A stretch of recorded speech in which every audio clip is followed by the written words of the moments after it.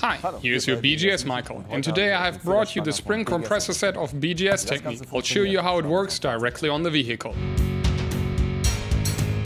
Here I have the spring compressor set already set up in the vice clamp, so you can easily work alone. Plates of various sizes are included in the set.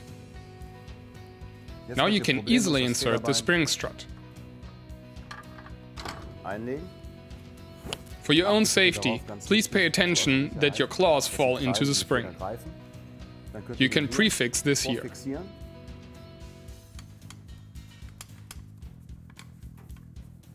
Then we take the impact wrench.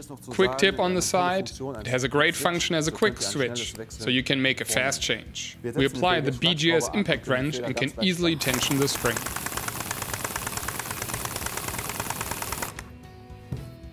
Then we remove the nut. Please make sure that you hold it from the back, otherwise the damper will fall out.